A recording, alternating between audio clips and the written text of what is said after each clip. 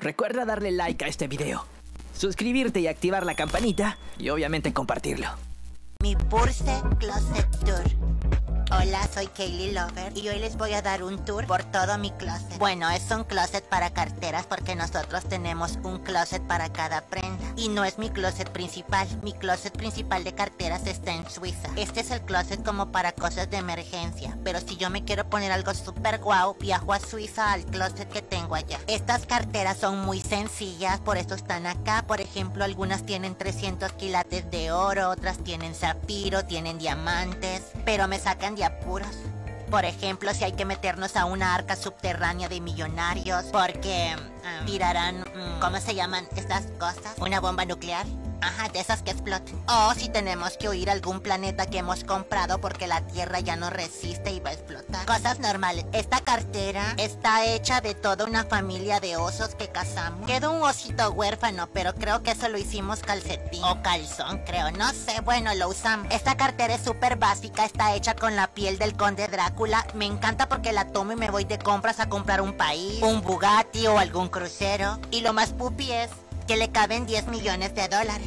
Lo que toda mujer básica busca es que le quepa su básico y sencillo maquillaje. Lo que toda millonaria busca es que le quepan 20 o 10 millones de dólares. Me encanta.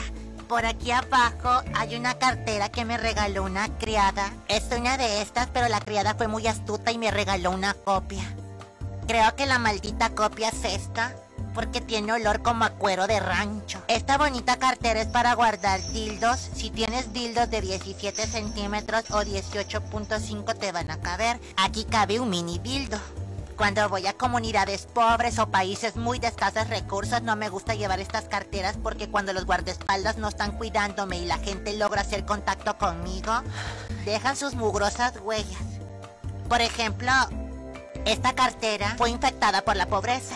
La tocó una señora obesa. La señora se acercó a mí porque quería un selfie. Yo le eché spray en los ojos y mi guardaespaldas le dio tres toques eléctricos. Y entonces, en ese momento ella rozó sus mugrosas manos con la cartera. Ay, esta carterita la compré afuera del Vaticano cuando me fui a confesar con el Papa porque tuve sueños de pobreza. Soñaba que tenía una cita con Cristiano Ronaldo. Entonces él me dijo que no era pecado, así que salí y me compré esta carterita. En este closet asustan. A las 3 de la mañana aparece una criada.